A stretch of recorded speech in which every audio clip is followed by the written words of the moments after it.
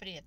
Меня часто спрашивают, что такое аскеза, как ее использовать. Если коротко, аскеза – это отказ от чего-либо во имя чего-либо. Другими словами, а, можно исполнять желание таким образом.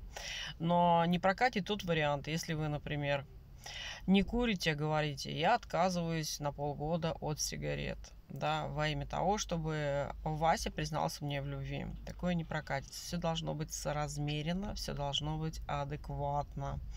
Аскезу э, не рекомендуется нарушать, потому что может произойти откат ситуации в обратном направлении.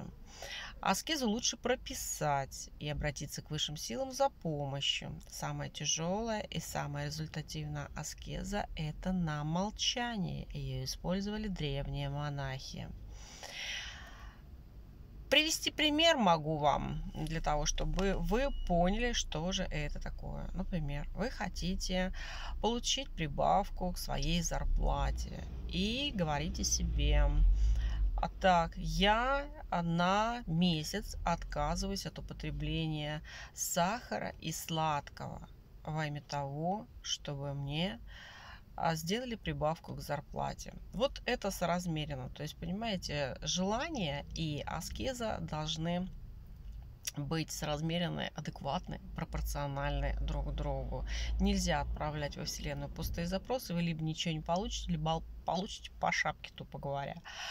Если что-то непонятно, спрашивайте, я объясню. А, наверное, лучше всего аскезу записать и периодически на нее поглядывать, да. Лучше всего никому об этом не рассказывать. Или, допустим, если вы поставили себе запрет, ну, к примеру, на алкоголь, да, где-то в компании вас приглашают выпить, и вам неудобно отказаться, ну, говорите, что вам по показаниям врача не положено на данный период времени, к примеру, выпивать. А вот. Либо можете сказать, что да, вы держите аскезу, а, но не говорить причину, не говорить цель, не обозначать люди завистливы, тут же у вас стырят вашу идею, вашу цель, и ничего у вас после этого не получится. Вот.